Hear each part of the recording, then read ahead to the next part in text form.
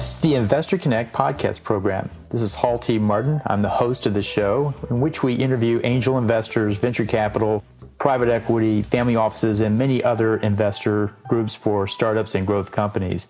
I hope you enjoy this episode. Thank you for joining us.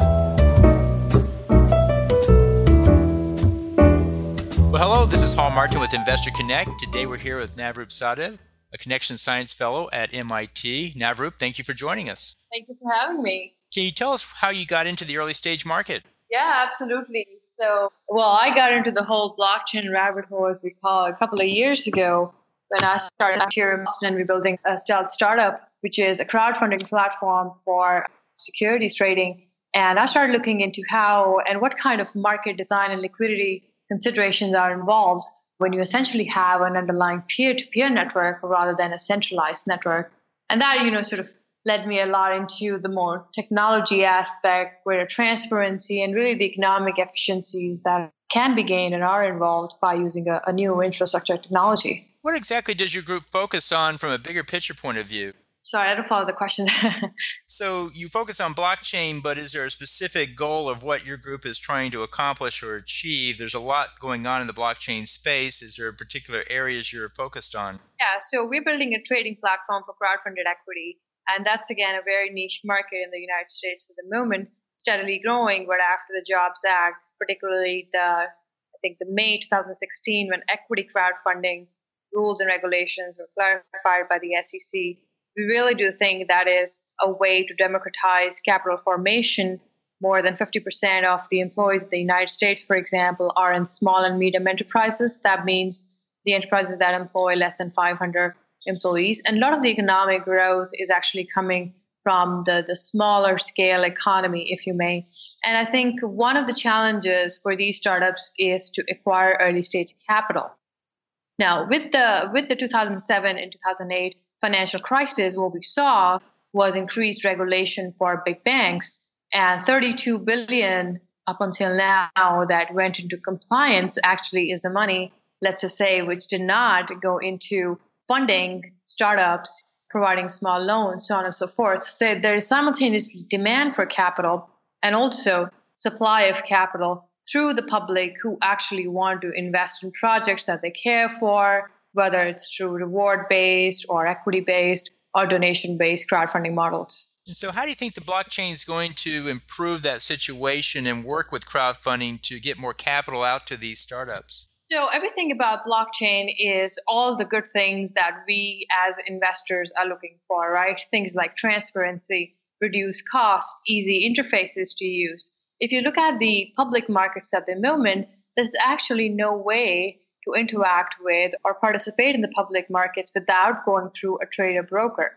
So I think that is really a game changer if blockchain technology can enable peer to peer transactions and many of these inefficiencies in rent seeking that economic actors do, entire businesses do, right? And that really is a crowdfunding sort of model, which also is facilitated and augmented by a technology that is completely in line with it. As with the ICOs and the blockchain, we now get into the use of tokens. And I understand you have a framework for valuing tokens, and this appears to be one of the key challenges in understanding the space is how do you put a value on a token for a digital system that is not yet built or may grow and change over time? What's your framework for valuing tokens? Absolutely. Yeah, that's a good question. So, that is some of our latest work, along with my co authors, John Hargrave and Olga from Smart Valor. This is the first paper on behavioral economics applied to token valuation. And what we really were fascinated by was how is it that value is being created out of thin air? And that took us on a journey to understand really how are investors perceiving and valuing these ICOs. So what we've done is adapted Jay Timmons' model of entrepreneurship to token-based business model or a company or an ICO. There are no previous indicators available to figure out quote unquote fundamental value of these businesses. And we are proposing and building on the fact that there are these mental heuristics or shortcuts that are involved learning from work on cognitive psychology and behavioral economics that are going on while investors are looking at these ICOs. For example, things like a lot of people compare it with IPOs, but that is not a correct comparison. So, really, what the human brain is doing is it is substituting a much more difficult question with a simpler question. And again, the paper is available, it's in the public domain, whoever wants to access it. In a very simple one sentence, I would say it provides you a scorecard to value these startups on various indicators, things like comparative advantage, things like the team, like the token mechanics that are in place. And at the end of the day, it provides you an analytical tool to value some of these early companies. And so, what do you think the key drivers are going to be with the valuation of the token and the blockchain? Another way, another challenge we found is blockchain brings a, a, whole new set of transparency elements to the table. How does that impact the value of the token as well? Well, I think it, it impacts it in a good way, right? There is a, a hundred years of literature on what is called information asymmetries in economics. So for ICOs and for early stage companies and startups that are looking to raise money through that channel, this provides you and greater transparency provides you a way to signal, as we call it, to the market for quality and address some of these information asymmetries. For example, if I'm starting a company, I know about the in and outs of the various team members, but an investor does not. So, how do you communicate that, oh, hey, I have a five star team? right? And so it is important to be transparent and it is important to be uh, fully open to the public, to the investors, uh, because again, it's it's a crowdfunding model. We really see ICOs as a successor of equity crowdfunding. That's another paper I'm working on as a new channel for raising capital and a viable one. Indeed, I think blockchain itself has not yet promised, or, or I want to say, fulfilled many of the promises. Right, there are major infrastructure challenges that are in place. So, but I think what it has done is provided a new tool to raise capital. And for that, I think this framework is extremely valuable to people who are looking at some of these models seriously. One of the things I've been looking at is if you had 10 companies that were distinct and separate, and then you had 10 companies that were tied together with a single blockchain, so they're much more digitally integrated, and you now had a robust digital ecosystem, what would be the delta in the difference in value between a token for these 10 companies and a token for these 10 companies all tied together? And how do you analyze or measure that incremental value because you've got this integration that goes on between them? Yeah, that's a good question. You know, the companies that are deploying different blockchains are not fundamentally different from 10 companies that are using the same blockchain at the back end at the end of the day, it is about the business. If these are 10 separate businesses, then these are 10 separate businesses, right? That's like saying, oh, I'm using Google servers, but are you as well? Or does that change anything between what we're doing? Well, you're operating in your industry, in your um, you know landscape, and and uh, so am I. So at the end of the day, it's not so much about the technology, and you know, it's tied to.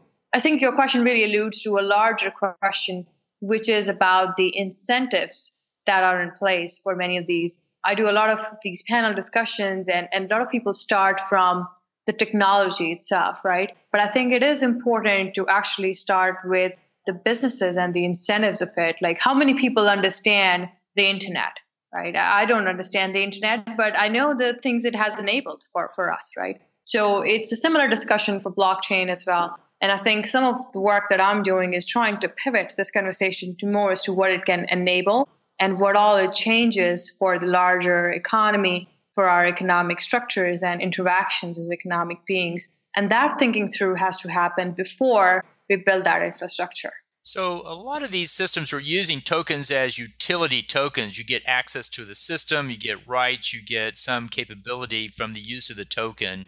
But then, with the ability to go and take it and sell it on the exchange for a gain, it now, the SEC now says, well, that's a security, that's not just a utility itself.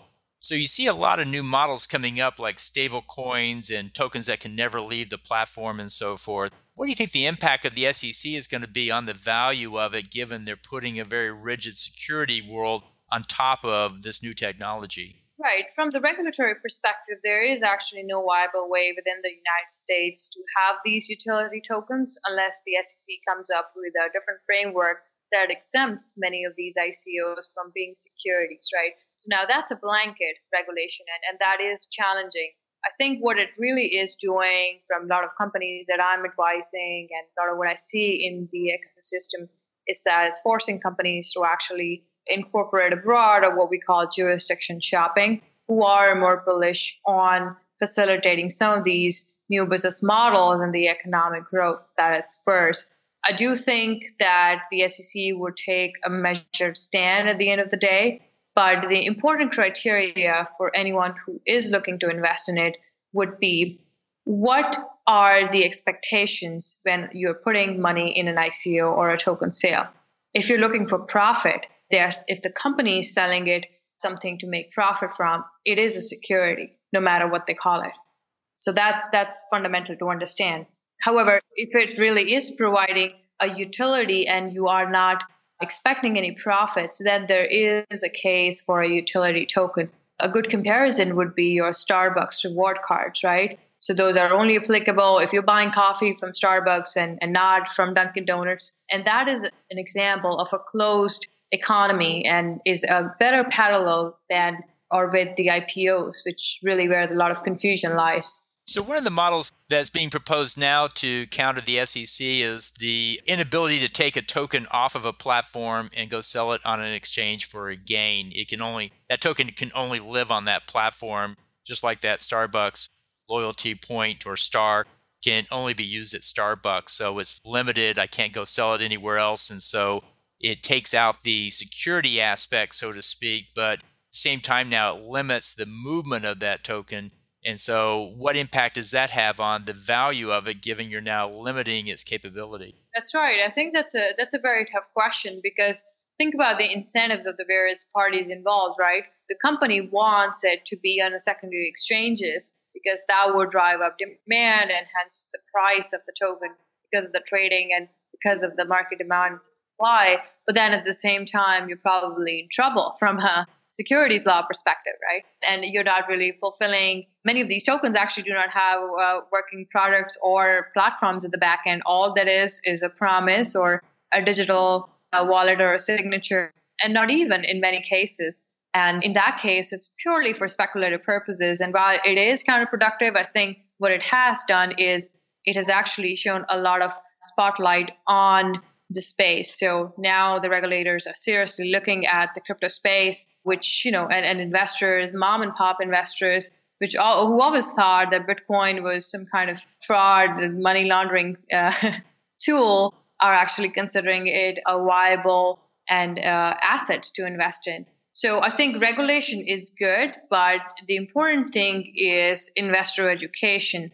we always say light on regulation and heavy on education. Well, great. I'd love to dive into more about the framework at some point, but in the last couple of minutes of this interview, what else should we talk about that we haven't covered so far? I think one of the things that would be useful to this audience, to our investors who are looking at the crypto say, uh, space, would be some of the economic implications that I earlier talked about, what I call the tokenization of the economy to pay attention to, right? It's fundamentally changing the way the way we do business, the sort of business models we have, the current economic structures we have in place. And I think if you are in business, essentially, it's changing the way we are perceiving value. And that is something to pay attention to if you are looking to be leaders in the space. Well, that's great. Appreciate your sharing those thoughts with us. What's the best way for the audience to get in touch with you? So I'm easily searchable on LinkedIn and feel free to send me an email at contact at navroopsahdev.in if you have any questions and concerns, I'm more than happy to share resources or answer questions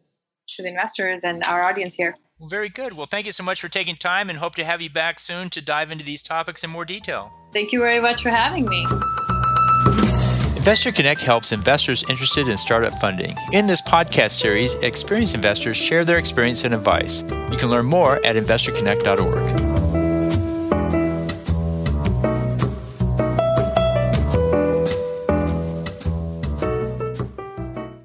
Martin is the director of Investor Connect, which is a 501c3 nonprofit dedicated to the education of investors for early stage funding. All opinions expressed by Hall and podcast guests are solely their own opinions and do not reflect the opinion of Investor Connect. This podcast is for informational purposes only and should not be relied upon as a basis for investment decisions.